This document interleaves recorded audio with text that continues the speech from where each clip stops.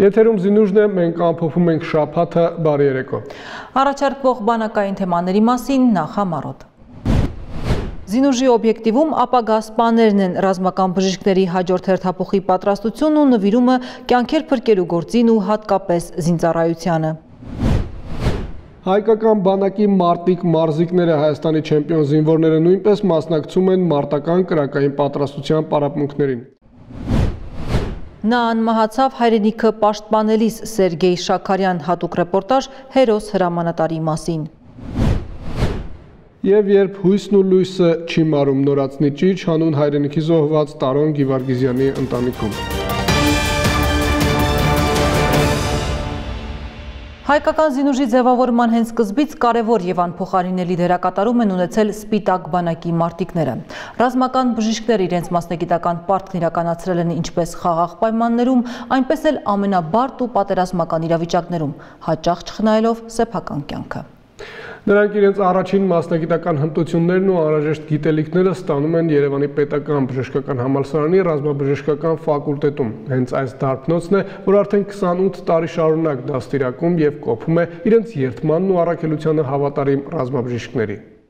Արթուր Գրիգորյանը սովորում է Երևանի պետական բժշկական համալսարանի ինտերնատուրայում պաշտպանության նախարարության պատվերով բուժական գծով պայմանագրով։ 6 տարի ընդհանուր բժշկական ուսում ստանալուց հետո Արթուրը եւ իր համակուրսեցիներն ընդունվել են ինտերնատուրա եւ այստեղ 1 տարի սովորելուց հետո կմեկնեն զինվորական ծառայության որպես բժիշկ զորամասային օղակում 5 տարի ժամկետով։ Ինչ սկզբանե հետաքրքրվել եմ այդ ծրագրով,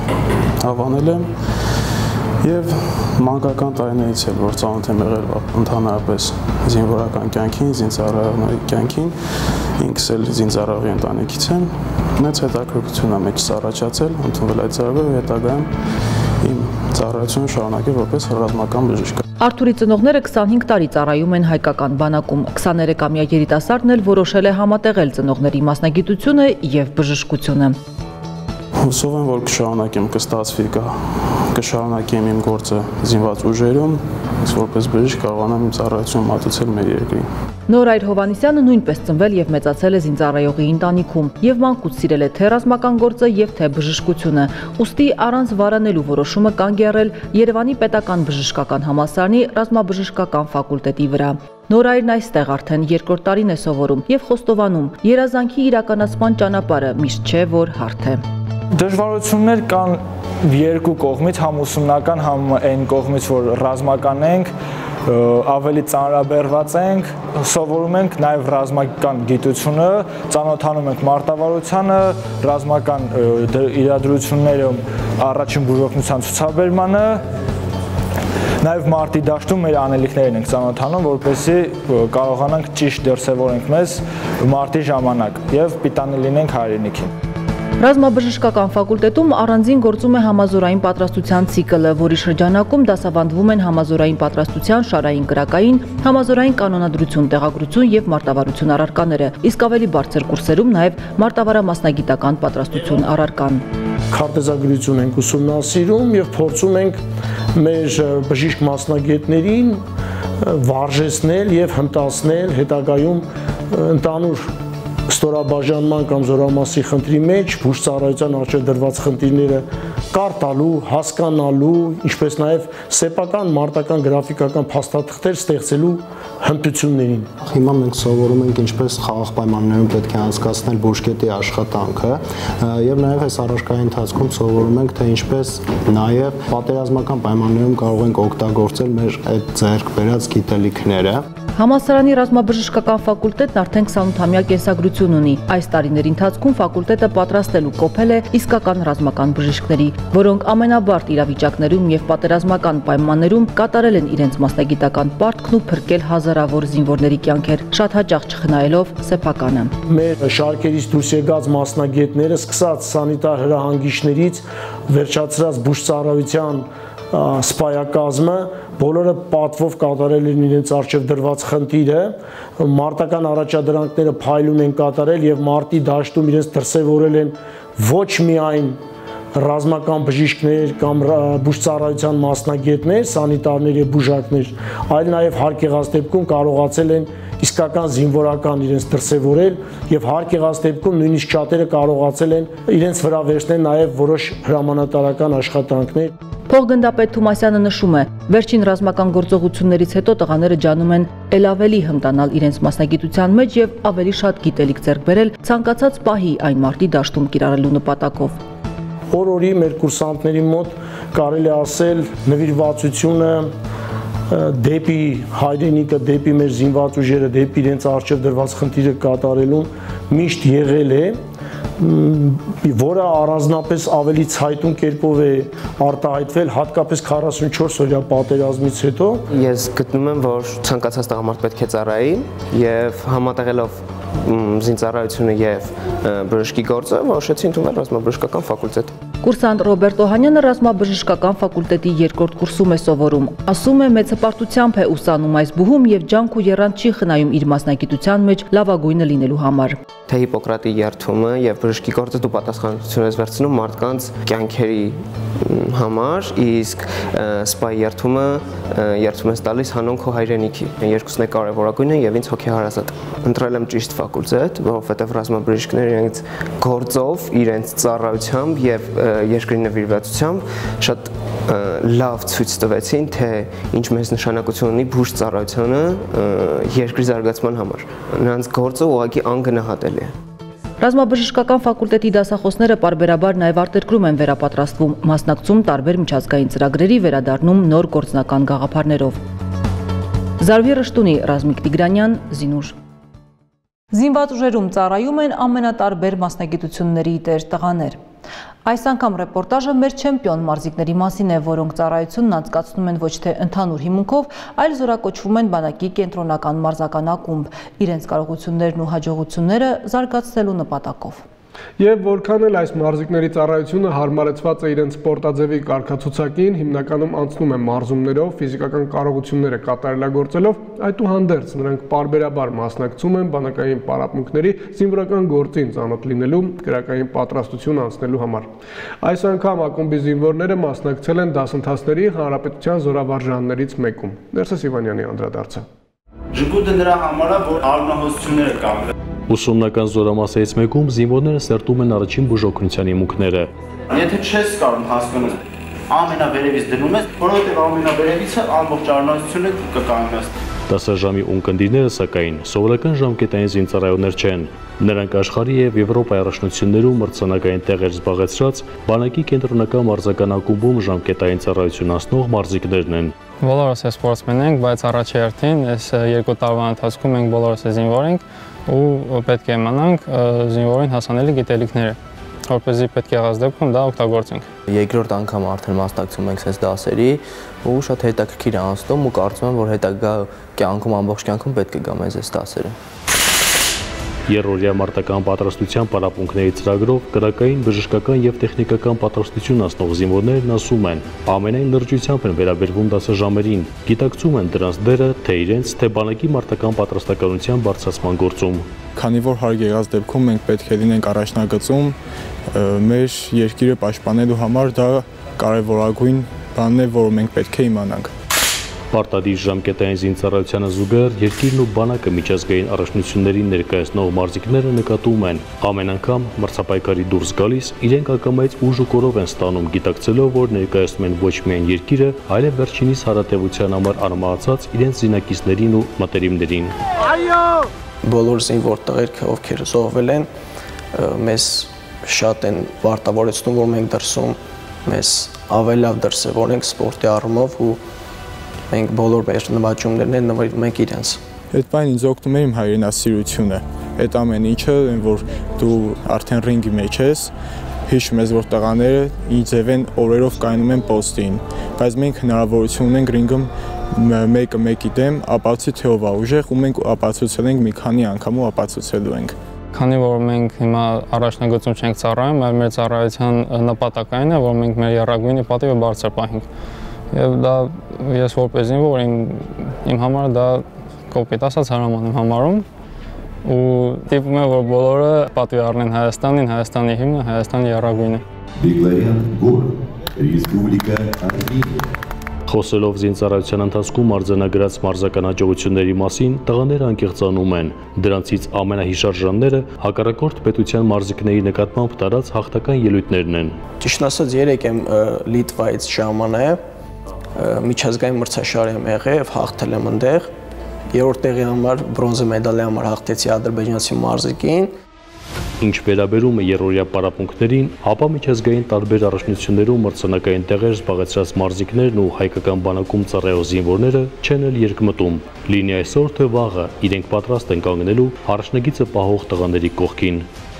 փորձը ցույց է տալիս, որ մեր հայ ազգը միշտ պետք է լինի պատրաստ։ Պատերազմների ժամանակ շատ տղաներ, շատ ընկերներ գնացին զոհվեցին եւ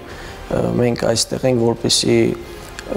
ապացուցենք, որ իզուր չեն նրանք զոհվել, որ պետք լինի մենք նույնպես կգնանք ու կռիվ կանենք, որտեվ եթե ոչ մենք ապով պետք է այդ ամեն ինչ անի։ Դրա համար հիմա ուշադիր լսում ենք, որ պատրաստ լինենք ամեն ինչի, ու մենք սպորտսմեններ ենք, ներկայացնում ենք մեր ազգը ու բացի սպորտից նաև հենց այս պարագայում պետք է պատրաստ լինենք ամեն ինչի, որ մեր ազգի կողքին լինենք, մեր զինվորների կողքին լինենք։ Ներսես Իվանյան, Ռազմիկ Տիգրանյան, Զինուժ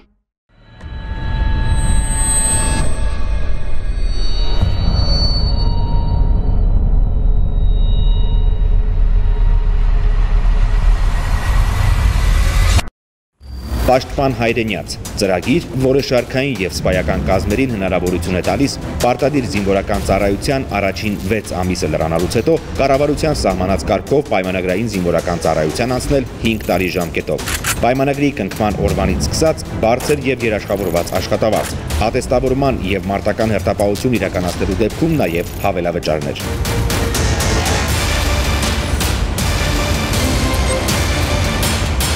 5 տարի անց պայմանագրի ժամկետի ավարտին 5 միլիոն դրամ պատվովճար գումարն ազատ տնօրինելու իրավունքով։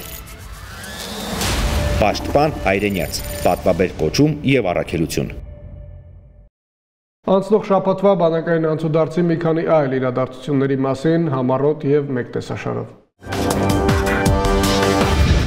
Պաշտպանության նախարար Սուրեն Պապիկյանն ընդունել է Հայաստանում Միացյալ Նահանգների արտակարգ եւ լիազոր դեսպան Տիկին Լին Թրեյսիին մեր երկրում դիվանագիտական առաքելությունն ավարտելու կապակցությամբ։ Նախարարը ներկայացրել է ադրբեջանական վերջին ռազմական ագրեսիայի հետևանքով առաջնագծում ստեղծված իրադրությունը, անդրադարձել Ադրբեջանի կողմից Լաչինի միջանցքի փակմանը եւ դրա հետևանքով ի հայտ եկած հումանիտար մարտահրավերներին։ Ընդգծվել է ստեղծված իրավիճակի վերաբերյալ միջազգային հանրության հասցեական արձագանքի անհրաժեշտությունը։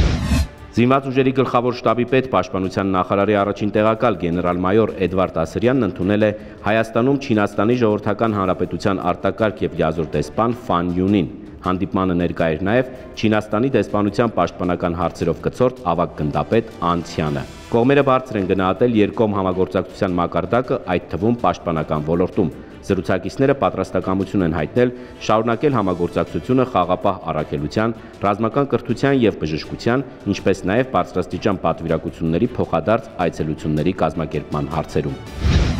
Մարդու իրավունքները եւ կանայք Հայաստանի զինված ուժերում երկրորդ փուլ ծրագրի աջակցությամբ մշակվել եւ Վազգեն Սարգսյանի անվան ռազմական համալսարանի կրթական ծրագրերում ներառվել է մարդու իրավունքները զինված ուժերում առարկայի դասընթացը։ Ռազմական համալսարանում բացվել է այդ դասընթացի անցկացման համար նախատեսված լսարանը։ Արարողությանը մասնակցել է Եվրոպայի խորհրդի Երևանյան գրասենյակի ղեկավարի տեղակալ Լեյլա Ժդանովայի գլխավորած պատվիրակությունը։ Նույն օրը Լեյլա Ժդանովայի գլխավորած պատվիրակությանն ընդունել է Պաշտպանության նախարարի տեղակալ Արման Սարգսյանը։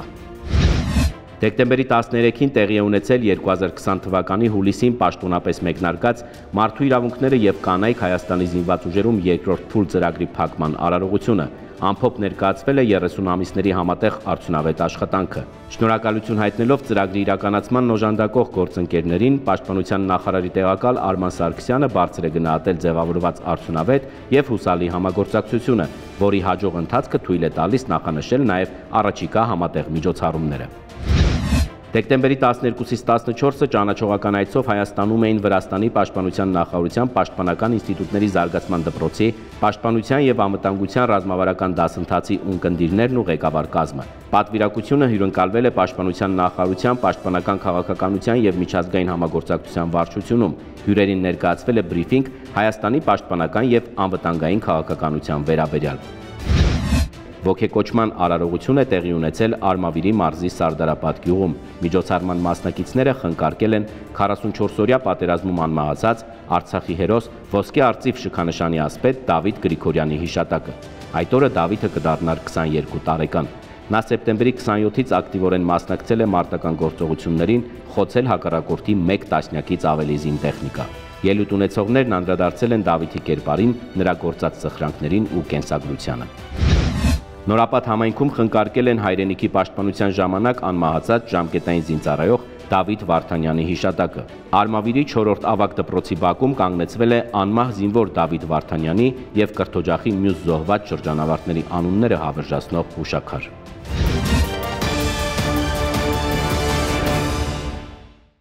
44-օրյա պատերազմում զոհվեցին մեր լավագույն սպաներից շատերը, զինվորականներ, որոնք իրենց ամբողջ կյանքի ընթացքում արեցին ամեն հնարավորը բանակաշինության եւ հայրենիքի պաշտպանության սրբազան գործի համար։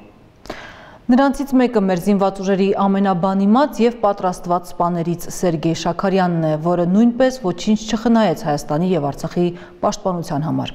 Գնդապետը շուրջ 40 օր շարունակ զենքը ձեռքին իր զինվորի հետ հավասար կռիվ տվեց հարազատ ծննդավայրում եւ ընկավ իսկական հերոսի մահով։ Լաուրա Մամյանն է պատմում։ Առաջին հերթին մենք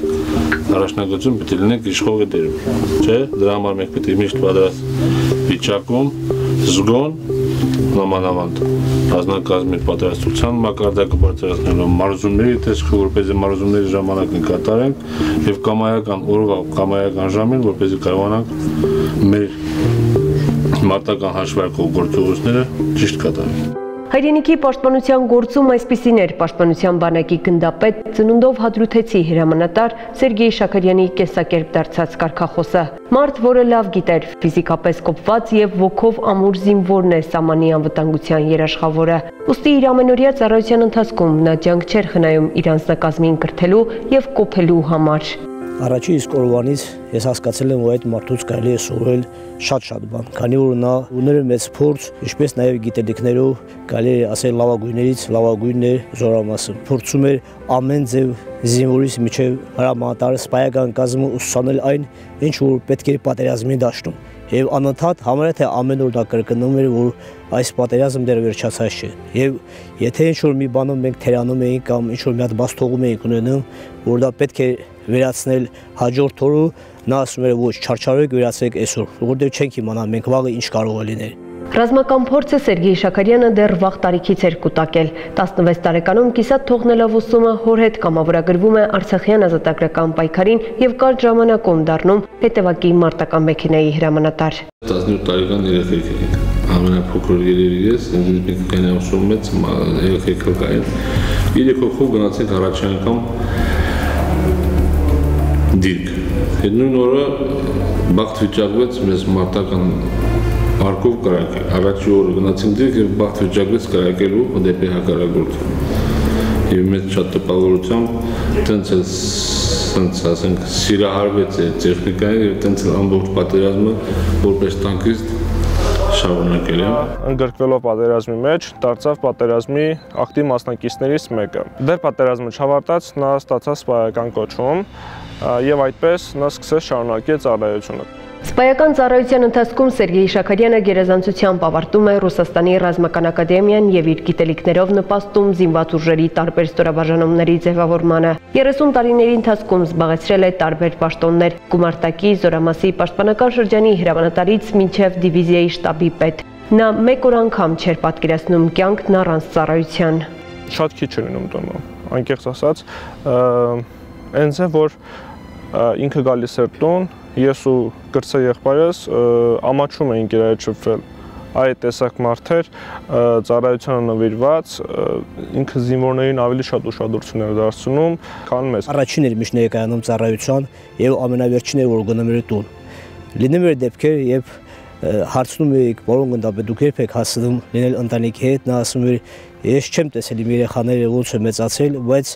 կարող նաև որ մենք մյուս երեխաներին կարողանանք առողջ ուղարկենք դեպի իրենց տները, ինչու՞ չէ, նաև միաժամանակ ուսուցանելու մարտական գործը։ Խստապահանջ, բայց յուրաքանչյուր զինվորի հանդեպ չափազանց սրտացավ հրամանատարն ամենավճռորոշ պահերին, մշտապես նրանց կողքին էր։ Սերգեյ Շաքարյանի դերը նշանակալից էր հատկապես 44-օրյա պատերազմի ընթացքում։ Գնդապետին վստահված էր Կարախամբելի վարանդա մարտական բնակցի պաշտպանությունը առաջի պաշտպանական շրջանի ուղությամբ, որ վիճակը արդեն ծանր էր, ինքը անմիջապես միացավ մեզ ու լրիվ հրամանատարությունը վերցրեց իր ձեռը ու ղեկավարեց։ Հակառակորդ հետ բայց սկսած կանգնեց ու մեծ կորուստներ կրեց։ Ինքը այդ պատյան ժամանակ հայտան ունեց ղեկավարում, այդ իր մասնագիտությունը չէր էլի։ Բոլորիս համար sense մի տեսակ բաներ թվում, բայց ունեց ղեկավարը, որ դաժե կաշած հրետան, որ չկարային այդ պահին այդ իրավիճակում, այդ հրետակոծության տակ կարային հրետան ներձև ղեկավարեին։ Լսում էի նրան ձայնը միայն ռադիոկապի միջոցով, ինչպես միշտ վստահ էր քաջալերող, երբ որ ինչ որ մեկը փորձում է ինչ որ մի բան sense մտածեր, նա նաև մի բախ կատակի տալով, լիսկաթափելով այդ ամենը մարդկանց ուղղորդում էր եւ թեկուզ դա այդ պահին չէր գտնում տվյալ տեղում, բայց կարող էր ցանկացած տեղ, ցանկացած մարդուն ուղղություն տալ անգիր իմանալու տարածքը։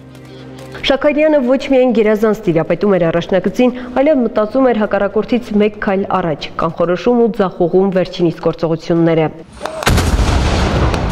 Կրվի առաջին օրերին տասնապատիկ գերազանցող ուժերով, հրետանային եւ ավիահարվածներով Ադրբեջանի զինուժը փորձում էր ճեղքել վարանդայի պաշտպանությունը։ Բայց շնորհիվ բացառիկ մարտավարության ու ճշգրիտ հրամանների Սերգեյ Շաքարյանին հաջողվեց կասեցնել լայնամասշտաբ բոլոր գրոհները եւ չընկրկել ճշնամու արչեւ ինչի համար հրամանատարին շնորհվեց Արցախի հերոս բարձրագույն կոչումը։ Տասնյակ տեխնիկաներա ոչնչացվել, հազարավոր հակառակորդը ոչնչացվել հրետանիով, հակատանկային միջոցներով, սենց ասեմ, ինքը ունեց է ղեկավարում, ունեց է տեղանք տիրապետում, ունեց է ճանաչում, որ թփի, քարի, սենց ասեմ, խրամատի, դիտակի, ամեն ինչ տեղ ոնց որ գիտե։ Ինքը նստած իր հրամանատարական կետում տանկային վաշտի հրամանատարին ասում էր, այս խաշմերուկի դուրս արի, տանկենա դեմը տա հետ դուրս եկար մի անգամ նենց էր նկարագրում ոնց որ ինքը այդ պահին այդ ներկայել ու ինքը այդ գործողությունը կատարելուց էր այդ իր խոսալով իր բանով վստահություն էր տալիս իր բոլոր ենթականների մեզ տալիս էր վստահություն ու մենք ոնց որ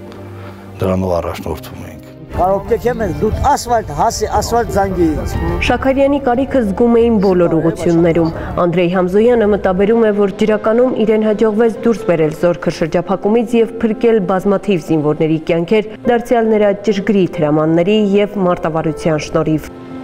չգիտեին կոնկրետ հակառակորդը ինչ հաջողությունների հասել կամ որտեղ է նա գտնվում, ես փորձել եմ կապի դուրս գալ նա հետ, իմանալով որ նա ամեն ինչին կտիրապետի։ Եվ նա ինձ ուղղություն ցույց տվեց, ասաց որ այս ուղղությունով հնարավոր է մոտիկանալ։ Ճիշտ է կլինեն դժվարություններ, բայց փորձի եւ նրա ցույց տված ուղղություններով մենք կարողացանք դուրս գալ միանալ առաջի պաշտպանականի ստորաբաժանումներին։ Սերգեյ Շաքարյանը ոչ մի անգամ մենակ չէր թողնում ենթականերին։ Նա հավատում էր իր զինվորների ոգու արիությանը, առաջնորդում էր նրանց մարտի դաշտում, զորքն էլ հրամանատարի ներկայությունից էր ոգևորվում եւ գոտեպնդվում։ Կարում էր մտնել ազնագազմի բարոյական հոգեբանական վիճակի մեջ, դրանով իսկ կարում էր ցանկացած սպայի, թե շարքային, թե զինվորի հրաման տալ։ Հենց ձևի, որ տվյալ մարդը կարողանա կատարի իր հրամանները։ Չենք մտածում, որ կարող զոհվենք այդ խոսքը, այդ հրամանը մեր համար, դա ոնց որ այդ պահին ամենաթանկը դառնար էլի մեր համար, այդ ձև իր տված ցանկացած առաջադրանք, ցանկացած խնդիր, մենք այդ ձև ենք մոտիկան, որ գնդապետ շաքան ասել, դաժե կյանքի գնովելա պետք է այդ խնդիրը կատարվի։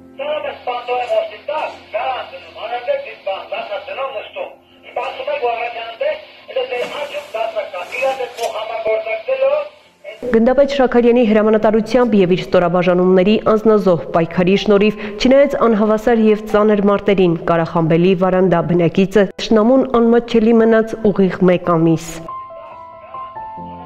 Առաջի պաշտպանականի ուղղությունով հիմնականում մենք ունեցել ենք հաջողություններ։ Մենք ստորաբաժանումների հետ չեն եկել։ Կարելի է ասել առաջի օրը մի 2-3 դիրքին հակառակորդին հաջողվել է մխրճել, բայց կանգնեցրել է հակառակորդը միաժամանակ այլ ուղություններով, կողքի ուղություններով նա կարողացել է հետ շփրտել նորից վերականգնել առաջնագիծը չհաշված մի փոքր տարածք։ Այսինքն այն ուղությունով, որտեղ ղեկավարել գնդապետ Շաքարյանը, մենք չենք ունեցել անհաջողություններ։ Ինքը որտեղ որ եղել է մեր մեր մեր ղեկավար մաժան, որտեղ որ եղել է իմացել ենք, որ եթե Շաքարյանն է, ուրեմն հաջողության հասնելու ենք միանշանակ։ Մեկ ամիս այդ ուղությունով, մեր ուղությունով, մեր զորամասի, մեր պաշտպանական շրջանի ուղությունով ոչ մի քայլ հակառակորդը չկարողացավ առաջ գալ։ Բնագծի պաշտպանությանը մասնակցում էր նաև գնդապետի որդին Սլավան, որը հպարտությամբ է շեշտում հոր բացառիկ նվիրումը։ Ցավոք սրտի չէր կարող այդ հատվածը միայն պաշտպանված լինել, քանի որ թիկունքից, աչից ձախից երեք կողմից թշնամին արդեն շրջափակել էր։ Հետնահանջ տեղի ունեցավ, բայց արդեն դա հայրիկիս մայից հետո։ Միջև այդ արդեն էլի կար շրջափակում, սակայն նրան կարողանում էին 3-4 կողմից պաշտպանվել թշնամուց եւ թշնամին չէր կարողանում անգամ 1 մետր առաջ գալ։ Սերգեյ Շաքարյանը բացառիկ խիզախ հրամանատար էր, իր գործի իսկական նվիրյալ։ Երբ հարևան դիվիզիայի հրամանատարը հոկտեմբերի վերջին ծանր վիրավորվեց, նա շտապեց նաև այդ բնագծի պաշտպանությունը կազմակերպելու։ Այստեղ եւս հաջողություններ գրանցեց, սակայն հոկտեմբերի 25-ին հակառակորդն իր հարվածներն ուղեց հրամանատարական կետին, որտեղ գտնվում էր գնդապետը։ Ոսկե արծիվ շքանշանի ասպետն ընկավ նույն տարիքում եւ նույն օրը, ինչ առաջին ազատագրական պայքարում իր հայրը Ավակ Շաքարյանը նախավերջին օրվա մեր մեր հեռախոսազրույցն եմ հիշում չգիտեմ խի ամենաերկար խոսացած հեռախոսազրույցն էր շատ հանգիստ էր խոսում անկեղծ ասած իրավիճակն էր ժամանակ հանգիստ թե ինքը ինչ որ բան կախա գուշակում էր նա ասաց ուշադիր լինես ԱԹՍ-ներից պաշտպանվիր եւ այլն եւ այլն ես կարողացա պաշտպանվել իսկ ինքը ոչ իհարկե ոչ նրա ցանկությամբ, ինքնա կցանկանար իր պարտքը միջև վերջ հանձներ։ Մենք պայքարում ենք մեր անկախության, մեր ազատության, մեր ազգի եւ գոյատեման, ավելի շուտ կարելի ասել պայքարը, այլ ոչ թե պատերազմ։ Պայքարել ենք եւ հպարտ եմ, որ պահպանում ենք մեր պետության, մեր հայրենիքի, մեր ընտանիքների սահմանները, դրանով հպարտանում միայն Գնդապետ Սերգեյ Շաքարյանն իր անունը ոսկե տառերով գրեց Արցախյան ազատագրական պայքարի տարեգրության մեջ։ Այսօր հոր եւ պապի փառահեղ մարտական ուղին շարունակում է նաեւ Գերդաստանի կրտսեր զավակը Սևակը, որը հենց հիմա այս պահին առաջնագծում է եւ իրականացնում է պետական սահմանի պաշտպանությունը, շարունակելով բոլոր անմահ հայրենիների սրբազան առաքելությունը։ Լաուրա Մամյան, Արամ Սիմոնյան, Զինուշ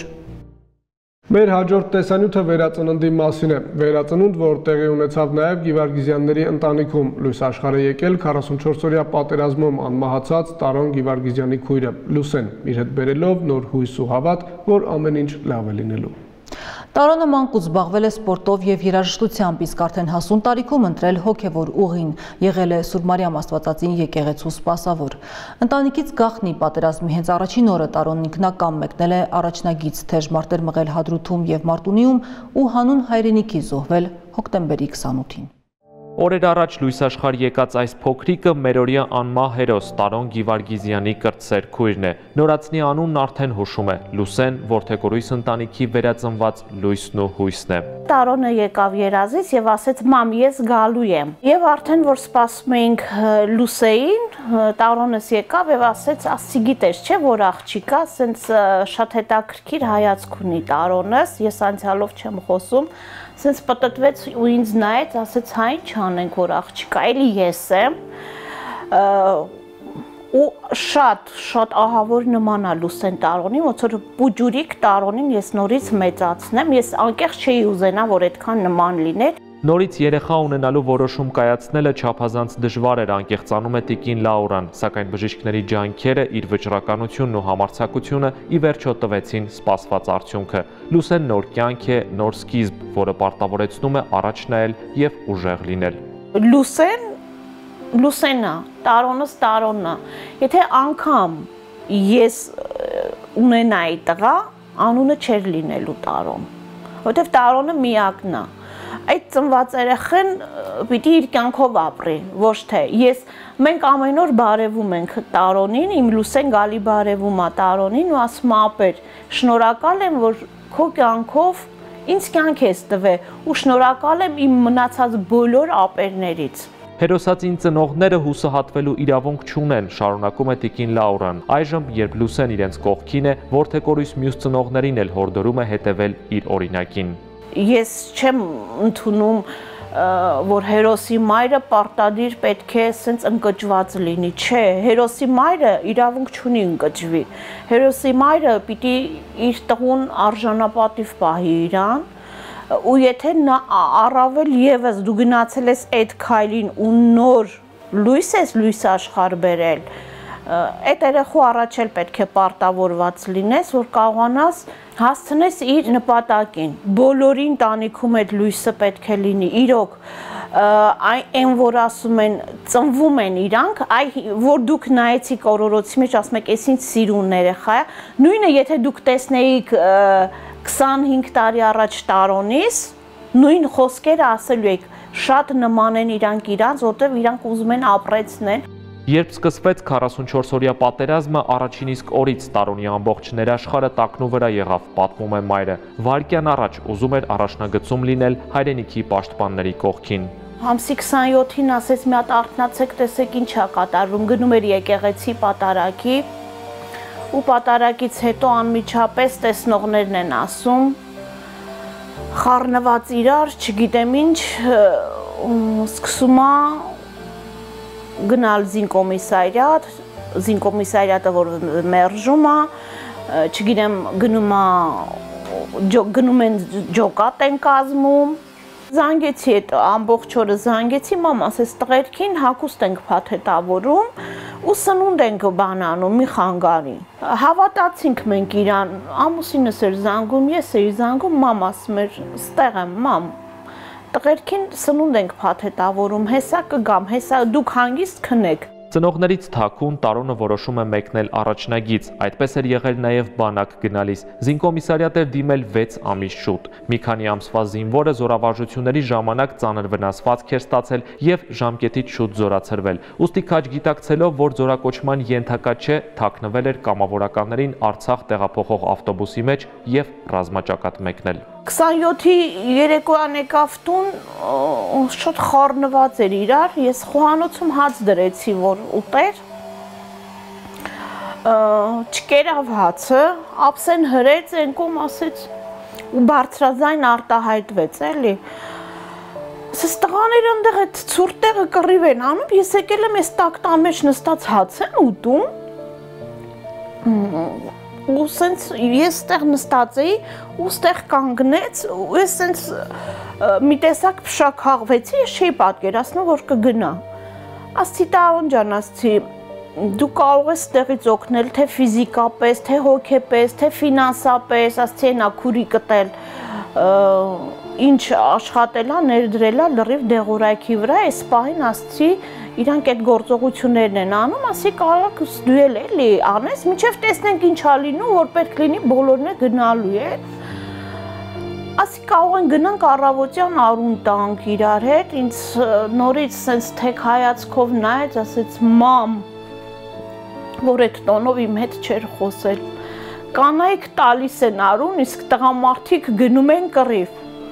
Ու անմիջապես տանից դուրս եկավ։ Պատերազմի օրերին Տարոն Գիվարգիզյանը շուրջ 1 ամիս մարտնչեց մի շարք թեժողություններում՝ Վարանդա, Հադրուտ, Մարտունի, անմահացավ հոկտեմբերի 29-ին անօթաչուի հարվածից։ Ասում էի Տարոն ջան, արդեն 1 ամիս անդեղ ես, էլ ուշ չունեմ սпасելու։ Գոնե 2 օրով արի գնա, ասում էր չէ, մամ։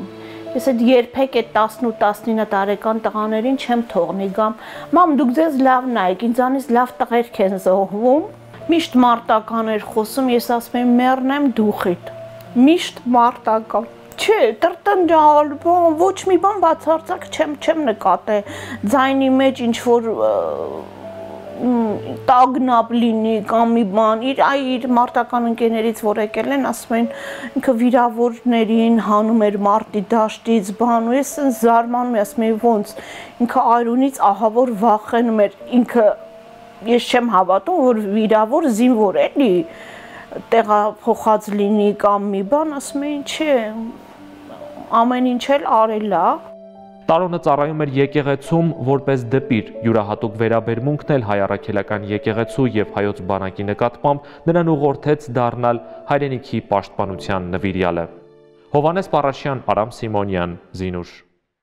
Եթերում զինուժներ շապատվա առանցքային իրադարձություններով։ Հետևեք մեզ նաև վիրտուալ տիրույթում բանակային նորություններին ծանոթանալով արցանց։ Մեր հաջորդ հանդիպումը զինվորական կարգապահությամբ ուղիղ մեկ շաբաթ անց է նույն տեղում, նույն ժամին։ Մնացեք խաղաղությամբ։